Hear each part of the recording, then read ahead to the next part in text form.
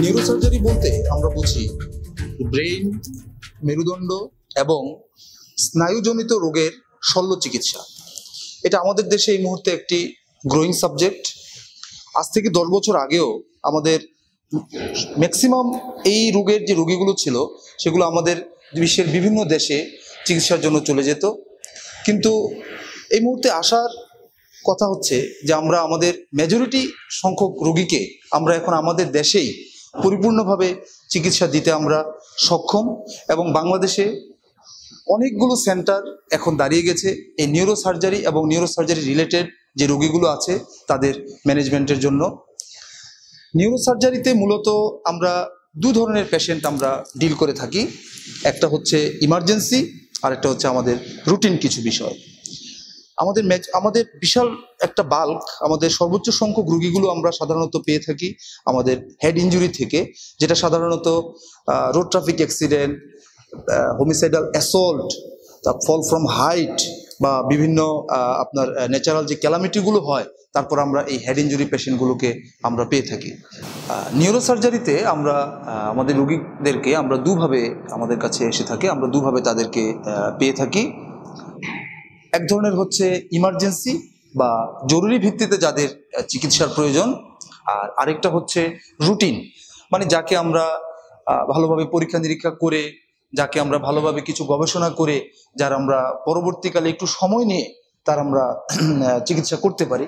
জরুরি ভিত- ভিত্তিতে আমাদের যে সমস্ত রুগীদের আমাদের অপারেশনের প্রয়োজন, এই রুগীগুলো হচ্ছে মাথায় আঘাত, মেরুদণ্ডে আঘাত এবং কমনলি প্রচলিত, আমরা বলে থাকি স্ট্রোক যে রোগগুলোতে রক্তক্ষরণ হয় মেরু ব্রেইনে বা আমাদের মাথায়, সেই রোগগুলোকে আমাদের জরুরি ভিত্তিতে আমাদের অপারেশনের প্রয়োজন হয়।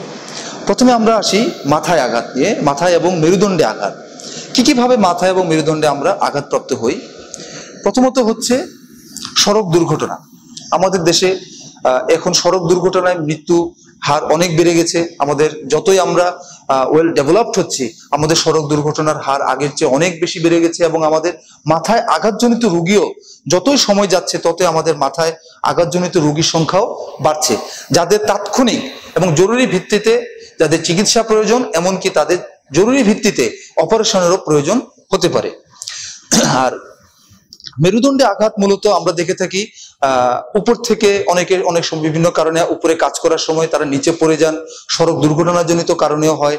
অনেকে যেমন কনস্ট্রাকশন ওয়ার্কার যারা যারা অনেক উঁচু বিল্ডিং এ কাজ করছেন, দেখা যায় প্রায় সময় তারা আমাদের সেফটি তারা যে গার্ড সেটা নেন না, যার ফলে তারা নিচে পড়ে যান এবং পড়ে যাওয়ার পর দেখা যায় তাদের চার হাত পা প্যারালাইজড হয়ে যাচ্ছে।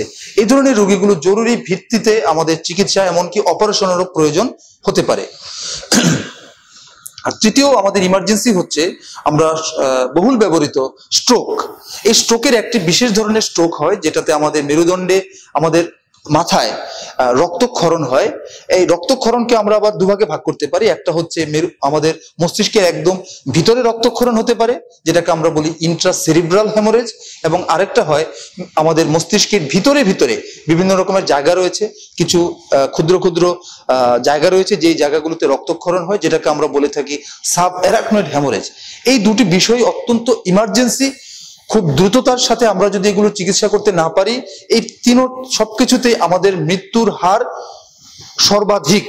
রোগী মৃত্যু যে কোনো মুহূর্তে এই তিনটি রোগের কারণে যে কোনো মুহূর্তে রোগীর মৃত্যু হতে পারে।